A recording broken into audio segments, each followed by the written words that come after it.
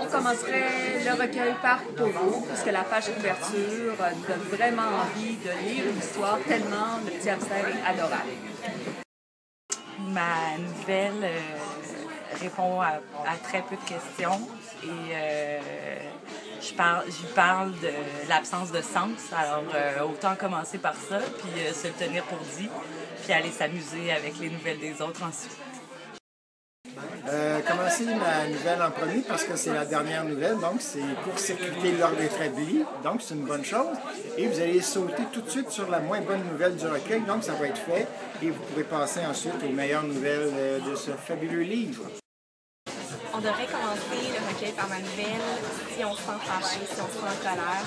J'ai écrit cette nouvelle-là euh, en pensant à moi qui était euh, une enfance souvent souvent en colère.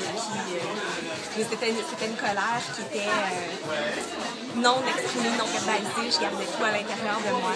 Et euh, j'écris euh, le personnage de Mathieu en pensant en, en me rappelant mes souvenirs un peu tristes de.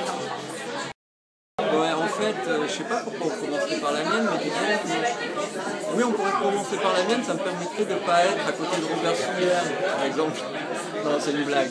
Bon, je vais essayer de trouver une raison, même s'il n'y en a pas de vraie. Euh, ma nouvelle se passe au bord de la mer, alors pour en profiter avant l'hiver, on va commencer par la mienne. Ben oui, il y a plusieurs raisons pour lesquelles vous devriez commencer le recueil par ma nouvelle. D'abord, euh, vous soyez plus vite débarrassé. Je pense que je suis pas tout seul à dire. Il y a euh, aussi euh, que je m'appelle Et que je suis toujours la dernière dans l'ordre alphabétique. Et je suis comme ça à l'école et dans plusieurs situations. Alors, pour une fois que Tremblay serait élu en premier, ce serait déjà un sacré changement. Et puis aussi parce que c'est une très vieille idée que je traîne depuis très très longtemps, et que j'avais jamais eu le temps d'écrire, que j'ai pris le temps de, la faire. Donc, cette idée-là qui traîne depuis si longtemps, elle a hâte de se faire finalement.